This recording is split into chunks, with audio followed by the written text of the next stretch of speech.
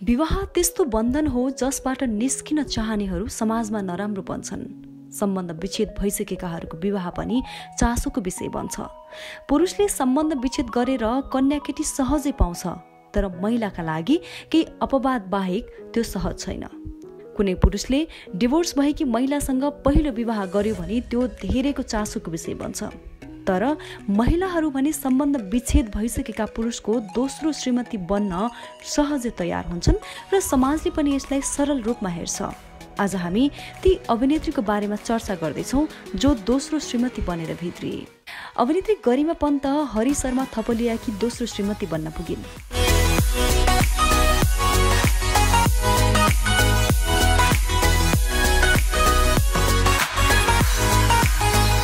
Hari बेल्जियममा restaurant व्यवसाय गर्दै आएका नेपाली हुन्। दुई वर्ष एक अर्काको प्रेममा रहेपछि उनीहरूले चार वर्ष अगाडि विवाह गरेका थिए। विवाहपछि गरिमा पनि हरिसँगै बेल्जियममै रहेर व्यवसायमा संलग्न भइरहेकी छिन्। यी दुईको सामाजिक सञ्जाल हेर्दा लाग्छ एक अर्कासँग निकै नै खुसी छन्। सती प्रथामा आधारित सिनेमा झोलामा काम गरेपछि गरिमाको चर्चा निकै नै चुलिएको थियो। अब भने गरिमा सिनेमामा नफर्किने लगभग पक्का पक्की नै भएको बुझिन्छ। कुशल अभिनेत्री तथा नृत्याङ्गना मिथिला शर्माले त पचास कटेपछि विवाह गरेर सबैलाई चकित बनाइन्। मिथिला पूर्व प्रहरी महानिरीक्षक मोतीलाल बोहराकी दोस्रो श्रीमती बनेर भित्रिएकी हुन्। मिथिला नेपाल पुलिस क्लबमा नृत्य गर्थिन्। यही क्रममा उनको र मोतीलालको निकटता बढेको थियो।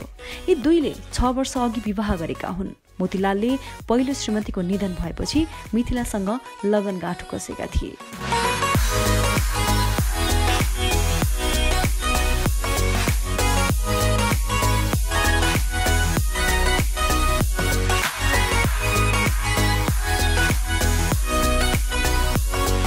अभिनेत्री रेखा थापा सोह्र वर्षको उमेरमा निर्माता छविराज ओझाको तेस्रो श्रीमती बनेर भित्रिएकी थिइन्। उनीहरूको सम्बन्ध करिब एक दशकसम्म चल्यो। पछि एक अर्कासँग मन नमिलेको भन्दै उनीहरूले सम्बन्ध विच्छेद गरे। यी दुईको सम्बन्ध विच्छेद भएको पनि आठ वर्ष भइसकेको छ। रेखापछि छविले अभिनेत्री शिल्पा पोखरेलसँग विवाह गरेर सम्बन्ध विच्छेद पनि गरिसकेका छन्। यता रेखाको पनि दोस्रो विवाहको चर्चा बेला बखतमा हुने गरेको छ।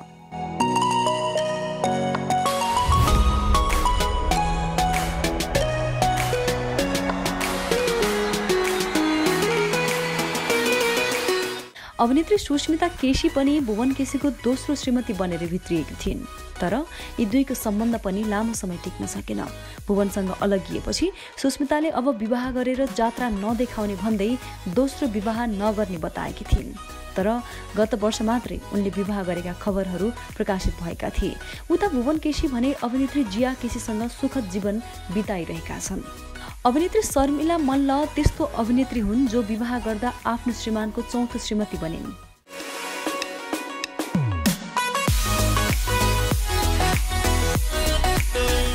अभिनेता कृष्ण मल्लले शर्मिला मल्लभन्दा अघि तिनजना महिलासँग विवाह गरिसकेको भए पनि त्यसपछि शर्मिलासँग नै जीवन बिताए। अहिले उनीहरूको दाम्पत्य जीवनले तीन दशक काटिसकेको छ। शर्मिलाका अनुसार कृष्णले तिनजना महिलासँग विवाह गरेको कुरा छोरा जन्मिसकेपछि मात्र बताएका थिए। अभिनेत्री सञ्चिता लुइटेल पनि अभिनेता निखिल उप्रेतीको दोस्रो श्रीमती बनेर भित्रिन्।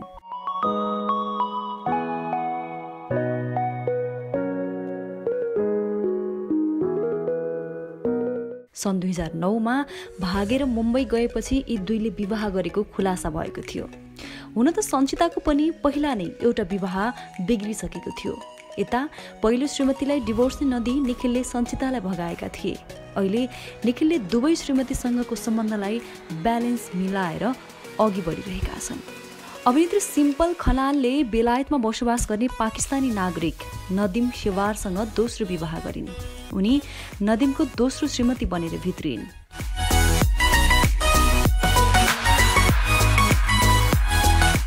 नदिम र सिम्पल अहिले एक छोरीका माता पिता पनि बनिसकेका छन्।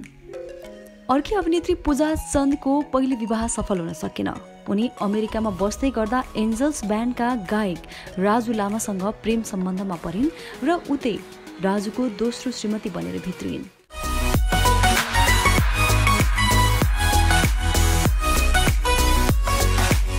पहिलो विवाहबाट पूजाकी एक छोरी छिन् जो हुर्किसकेकी छिन्।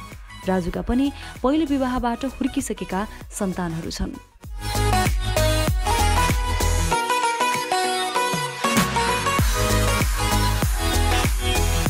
त्यस्तै अभिनेत्री सौजन्य सुब्बा पूर्व प्रधानमन्त्री लोकेन्द्र बहादुर चन्दका छोरा भूपेन चन्दको दोस्रो श्रीमती बनेर भित्रिइन् यी दुवैको दोस्रो विवाह थियो। सौजन्य र भूपेनले विवाह पूर्व नै आफ्नो डिभोर्स गरिसकेका थिए। त्यस्तै सौजन्य सुब्बाको अभिनेता रोज राणासँगको सम्बन्धले पनि निकै नै चर्चा बटुलेको थियो। अभिनेत्री शिल्पा पोखरेलले पनि निर्माता छवि ओझासँग दोस्रो विवाह गरेकी थिइन् र उनी छविको चौथो श्रीमती बन्न पुगेकी थिइन्।